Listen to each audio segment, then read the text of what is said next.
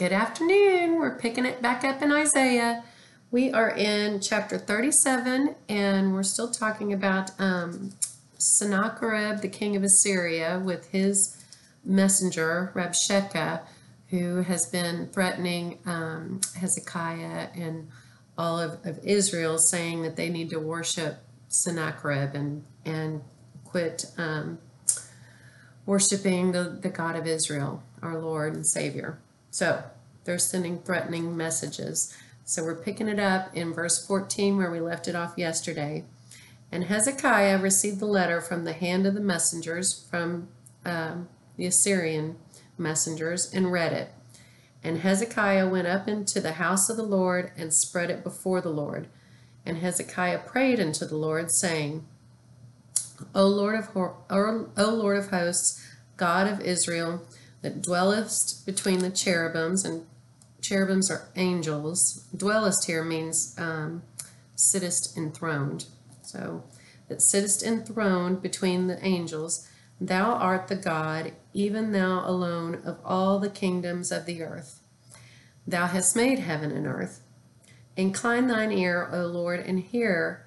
Open thine eyes, O Lord, and see, and hear all the words of Sennacherib, which has sent to reproach the living God, sent to reproach you. Of a truth, Lord, the kings of Assyria have laid waste all the nations and their countries, and have cast their gods into the fire. For they were no gods, but the work of men's hands, wood and stone. Therefore they have destroyed them. Now, therefore, O Lord our God, save us from his hand, that all the kingdoms of the earth may know that thou art the Lord, even thou only. They destroyed all those other gods, all those other cities. Show them that you are the true one God. Verse 21 Then Isaiah the son of Amoz sent unto Hezekiah, saying, Thus saith the Lord God of Israel, whereas thou hast prayed to me instant answer almost, against Sennacherib, king of Assyria. This is the word which the Lord has spoken concerning him.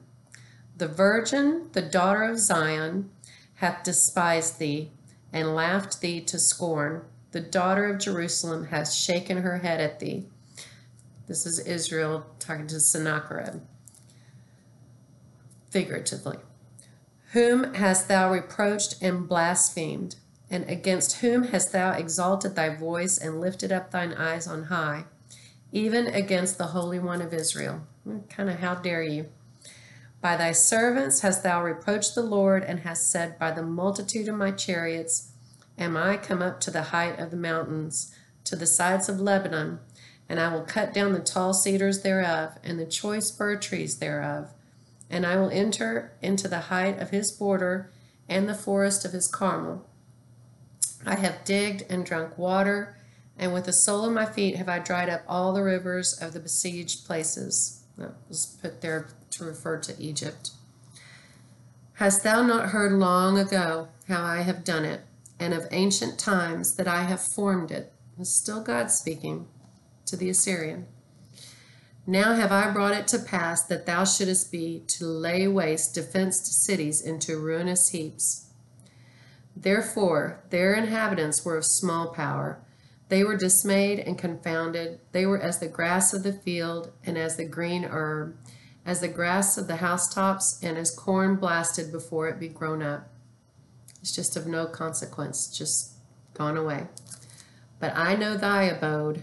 I know where you sit down, and thy going out, and thy coming in, and thy rage against me because thy rage against me and thy tumult, which is arrogance, is come up into mine ears. Therefore will I put my hook in thy nose and my bridle in thy lips, and I will turn thee back by the way by which thou camest. And I love that because um, my hook, apparently Assyrian um, sculptures that they found represent captives. That, that that's how they led them. They put a hook in their nose. So Jehovah, our God's going to give him the same treatment that they treated others. Um, I'm going to leave it there because we're almost to five minutes and we can pick it back up there. That's my new favorite verse. um, I hope you guys have a wonderful day and evening. I love you. Lots of love and blessings. We'll talk tomorrow. Bye.